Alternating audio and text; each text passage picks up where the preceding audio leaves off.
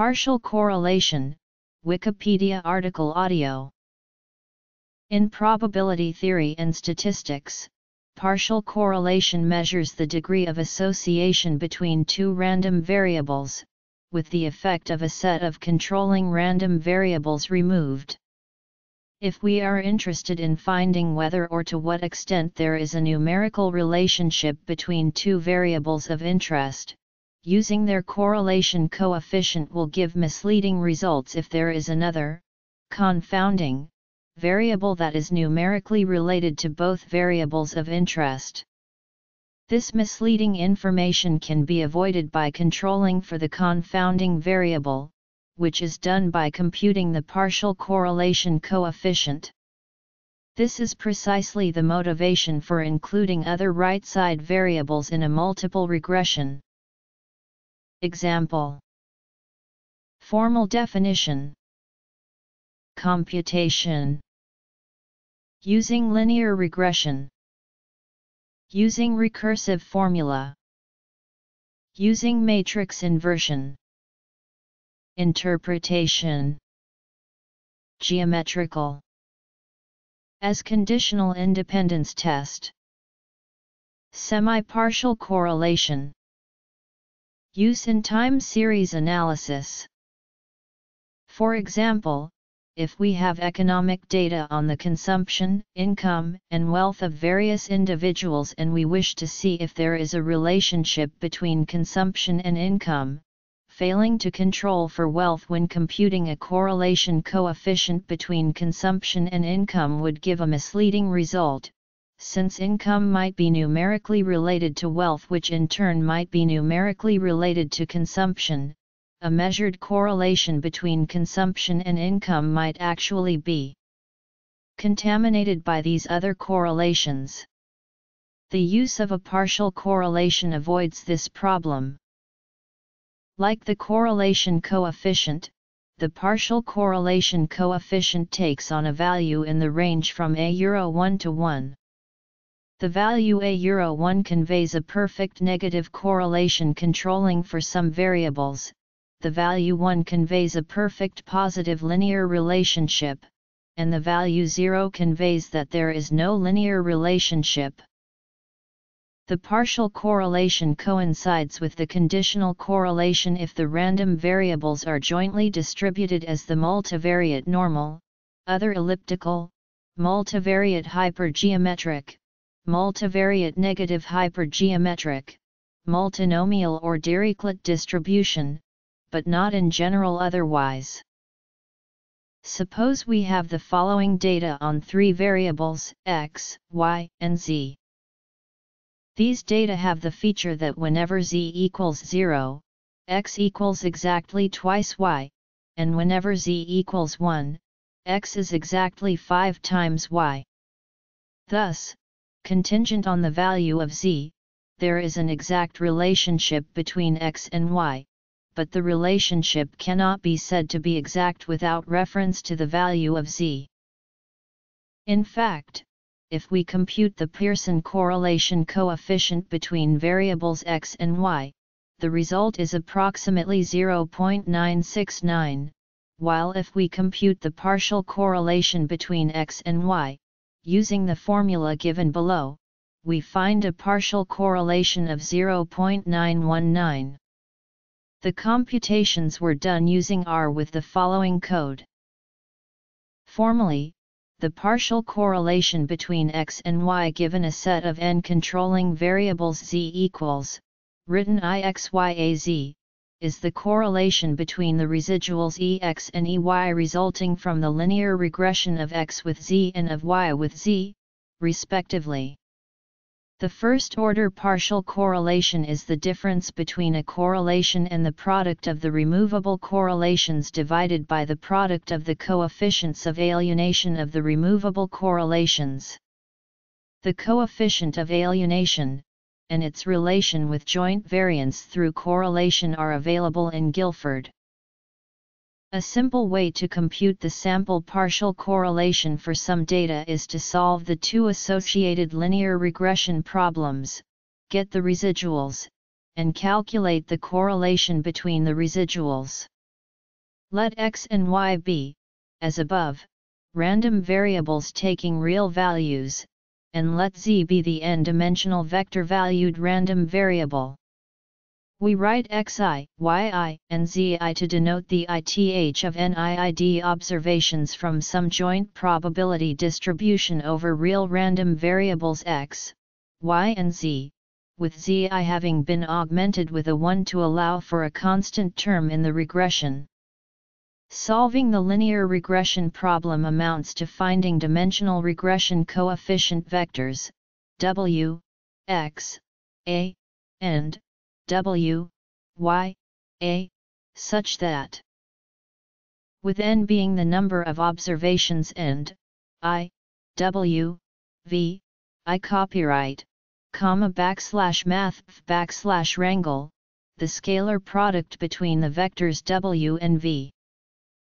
The residuals are then and the sample partial correlation is then given by the usual formula for sample correlation, but between these new derived values. It can be computationally expensive to solve the linear regression problems. Actually, the nth order partial correlation can be easily computed from three th order partial correlations. The zeroth order partial correlation IXYAA is defined to be the regular correlation coefficient IXY. It holds, for any z 0 a z backslash in backslash math that Novelli implementing this computation as a recursive algorithm yields an exponential time complexity. However, this computation has the overlapping subproblems property, such that using dynamic programming or simply caching the results of the recursive calls yields a complexity of O, n, 3.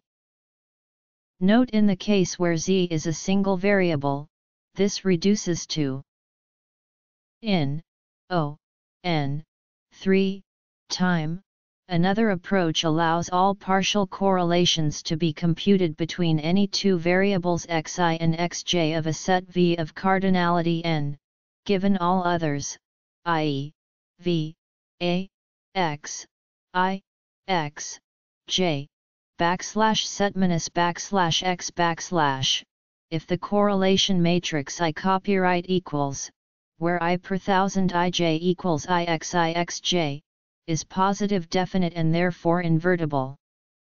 If we define P equals ij equals i copyright A1, we have let three variables x, y, z be chosen from a joint probability distribution over n variables v. Further let vi, 1a per thousand ia per thousand n, BNN dimensional IID observations taken from the joint probability distribution over V. We then consider the n-dimensional vectors x, y, and z. It can be shown that the residuals exi coming from the linear regression of x on z, if also considered as an n-dimensional vector ex, have a zero scalar product with the vector z generated by z. This means that the residuals vector lies on an dimensional hyperplane SZ that is perpendicular to Z. The same also applies to the residuals EYI generating a vector EY.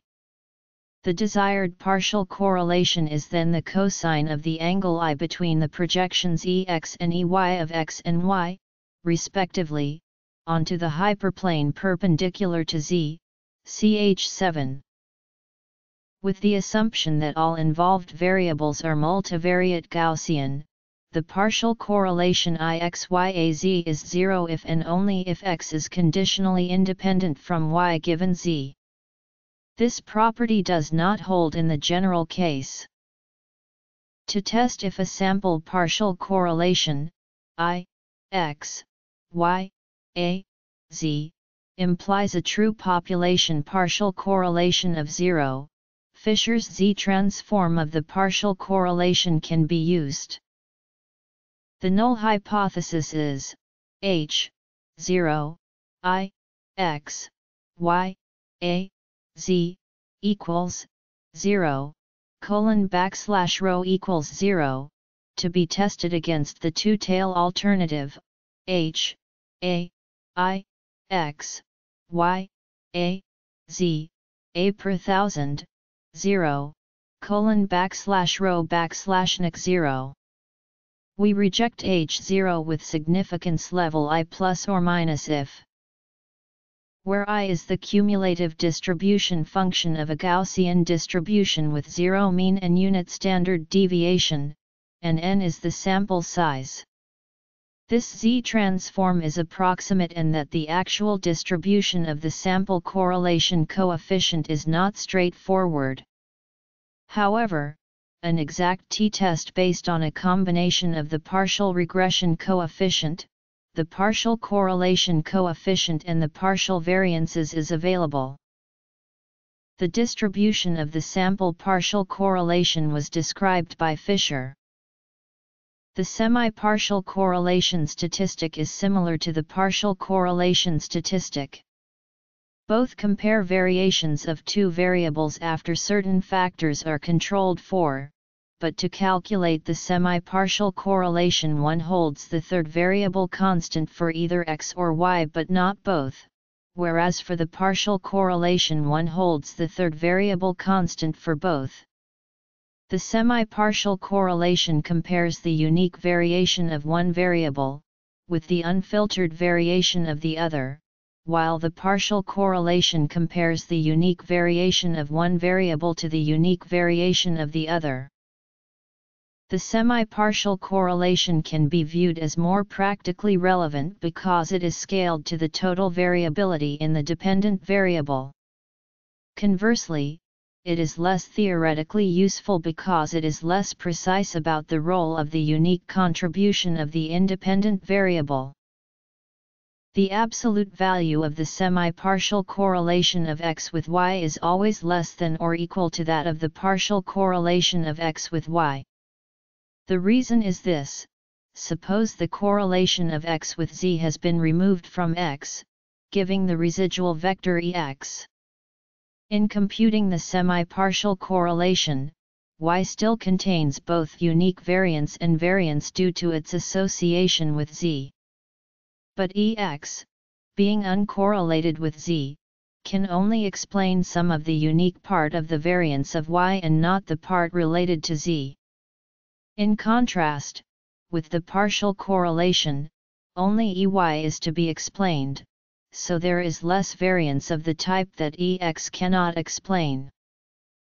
In time series analysis, the partial autocorrelation function of a time series is defined, for lag h, as this function is used to determine the appropriate lag length for an autoregression.